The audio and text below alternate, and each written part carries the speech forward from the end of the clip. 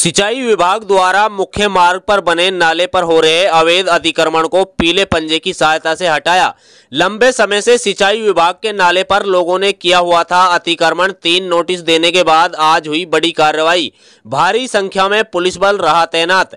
नुह मेवात ज़िले के फिरोजपुर झिरका शहर के मुख्य बीवा पहाड़ी मार्ग से सटे सिंचाई विभाग के नाले पर लोगों द्वारा अतिक्रमण करने की शिकायत लगातार सिंचाई विभाग को मिल रही थी, जिससे नाले की सफ़ाई करने में भारी परेशानी का सामना करना पड़ रहा था। वीरवार को सिंचाई विभाग के एसडीओ राहुल देव की अगुवाई में ड्यूटी मजिस्ट्रेट नायब तहसीलदार तुलसीदास सहित भारी पुलिस बल की मौजूदगी में सिंचाई विभाग के नाले पर लंबे समय से हो रहे अतिक्रमण को बुलडोजर की सहायता से हटाया गया।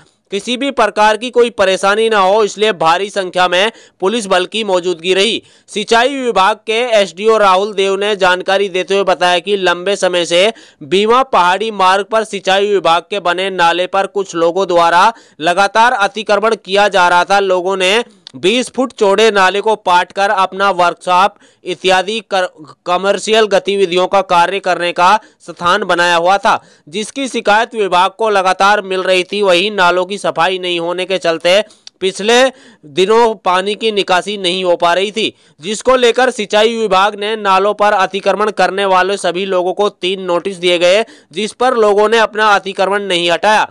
आज वीरवार को भारी पुलिस बल की मौजूदगी के साथ ड्यूटी मजिस्ट्रेट नायब तहसीलदार फिरोजपुर जिरका तुलसीदास को लेकर अवैध अतिक्रमण को बुलडोजर की सहायता से हटवाया गया। और भविष्य में लोगों को सिंचाई विभाग के नाले पर अतिक्रमण नहीं करने की अपील की गई। राहुल देव ने बताया कि उन्हें अतिक्रमण करने वाले लोगों को कड़ी कानूनी कार्रवाई का सामना करना पड़ सकता है। इस प्रकार नाले के ऊपर से अवैध अतिक्रमण हटाने की कार्यवाही लगातार जारी रहेगी। इस मौके पर सिटी चौकी प्रभारी सब इंस्पेक्टर भरत सिंह अपने दल बल के साथ, काफ़ी संख्या में पुलिस बल के साथ मौजूद रहे।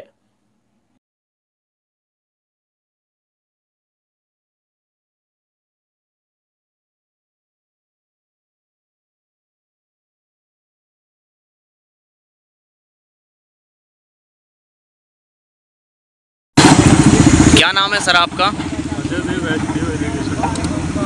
तो सर आज फिरोजपुर झिरका में ये कौन सी जगह है जहाँ पर ये अवैध कब्जा हटवाए गए हैं? क्या शिकायत प्राप्त हुई थी विभाग को?